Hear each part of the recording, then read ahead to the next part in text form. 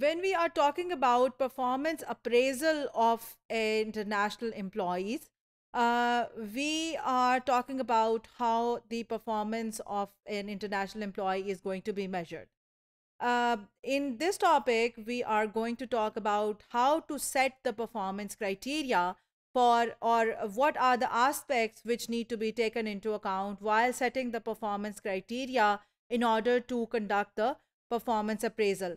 Uh, we are talking about international employees over here. So we are talking about setting the performance criteria for all types of international employees. Uh, and in previous topics, we have discussed the type of international employees. So those could be expatriates or non-standard assignment holders or the non-expatriates. Mostly we, we are concerned about how to measure the performance of expatriates, but uh, similarly, the same type of uh, structures and functions need to be performed in order to set the criteria for other international employees as well. So the performance criteria, the challenge of setting the performance criteria in the international scenario is much more complicated. So uh, the global firm's ability to measure an employee's uh, individual contribution to performance and to assess the aggregate contribution of human capital to strategic progress is a complex and timely topic in organizational studies.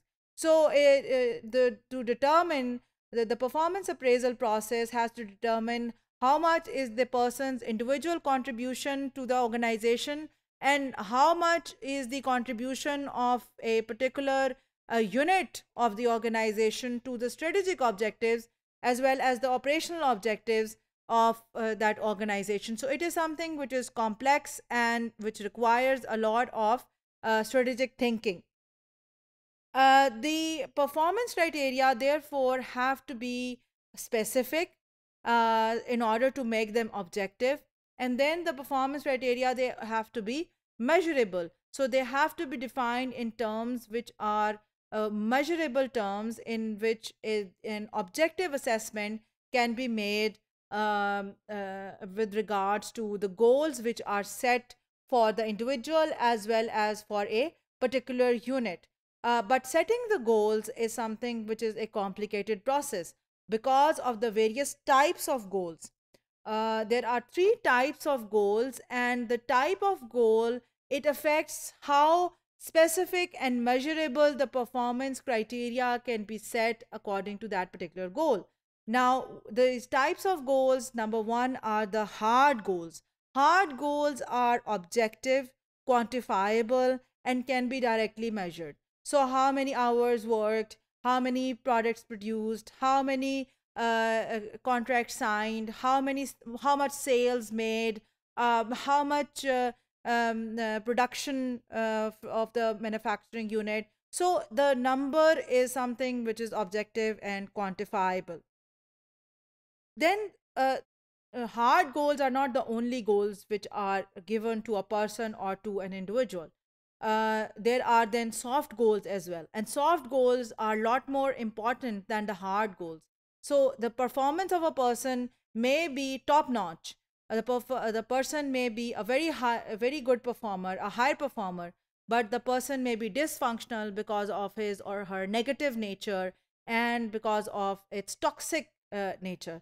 So it is said that a person, a high performer with a toxic nature, is detrimental to the organization uh, rather than a less uh, uh, achiever, but with a uh, uh, with a pleasant nature, with a more congenial nature. So the soft goals are also important. What are soft goals? They tend to be relationship or trait based. So uh, the leadership skills of a person, the communication skills of a person, the convincing negotiation skills, all these are the soft goals of a particular job.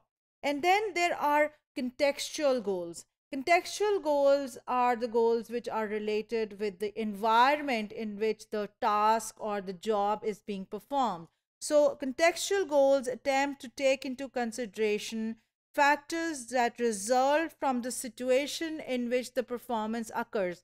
So, contextual goals may be uh, managing the culture of the particular subsidiary unit. Contextual goals may be developing the network of uh, people in that subsidiary unit. Contextual goals could be pacifying the uh, demands of the collective bargaining agents or the trade unions working in that particular subsidiary country.